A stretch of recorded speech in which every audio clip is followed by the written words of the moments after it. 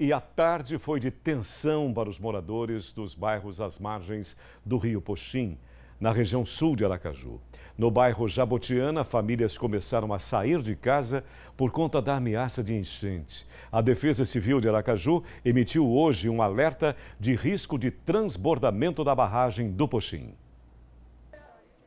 Quem mora no Largo da Aparecida e já sofre diariamente com problemas financeiros e de infraestrutura todos os anos ainda tem que enfrentar enchentes no mês de maio. No ano passado, foi registrada uma das piores. A dona Josefa mora aqui há 25 anos e já perdeu as contas de quantas vezes teve a casa invadida pela água. Diante da previsão de chuva e da elevação do rio, ela já fica preocupada. Eu tenho um filho pequeno, tem os vizinhos também que a gente tem que se preocupar com o próximo, né? E esse coronavírus também que as pessoas não podem estar dando aglomerações e nem a gente podendo ir por perto mais, né, agora.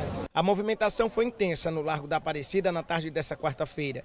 Equipes da Defesa Civil e da Assistência Social do município alertaram os moradores sobre o risco de nova enchente. Na unidade de saúde, profissionais tentavam abrigar materiais em um ponto mais alto. O seu Pedro, que já perdeu tudo que tinha em outras enchentes, estava em busca de uma solução. A população perde tudo que tem, né? Já tem pouco. E o pouco que tem, eles perdem. Porque nunca fez benefício nenhum nessa perna do Rio Poxinho. Então a tendência é maré alta, é encher tudo de novo, que nem fez todo ano. A comunidade fica às margens do Rio Poxim. A barragem que deságua aqui já está com capacidade máxima, o que aumenta o risco de vermos as cenas do ano passado se repetirem mais uma vez. A Companhia de Saneamento de Sergipe informou que a barragem está com 99% da sua capacidade ocupada. A água já começou a verter.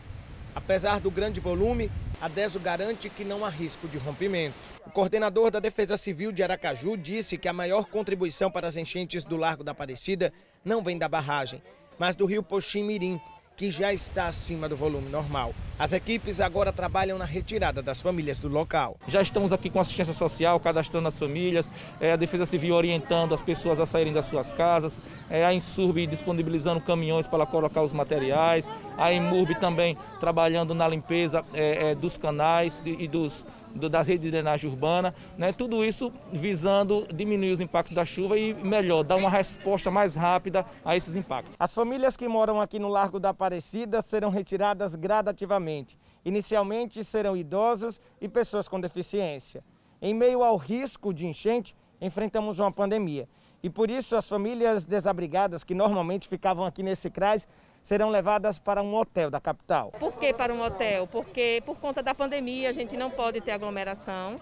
Então essas famílias vão para o hotel e os pertences dessas famílias vão ser etiquetados e vão ser levados para um galpão pertencente à Secretaria de Assistência. E a saúde, a equipe de saúde também vai estar aqui presente antes dessas famílias irem para os hotéis porque elas vão ser aferida a temperatura delas, ver o estado de saúde como é que estão, para depois a gente levá-las para os hotéis. Além do Largo da Aparecida, outras localidades do bairro Jabotiana devem ficar em alerta. A orientação da Defesa Civil é que idosos que moram no conjunto Santa Lúcia, por exemplo, deixem imediatamente suas casas. Começaremos por aqui pelo Lago da Aparecida, mas depois nos deslocaremos para o conjunto JK, São Nascente, Santa Lúcia, toda aquela área do canal do Santa Lúcia também, ali do, do da Colina da Saudade, orientando as pessoas a, a tirarem seus idosos de casa, as pessoas que já têm alguma enfermidade, porque haverá, se houver o transbordamento, uma dificuldade de locomoção dessas pessoas e elas não podem ficar ilhadas. Em nota, a DESO informa que não há risco de rompimento da estrutura da barragem do Poxim.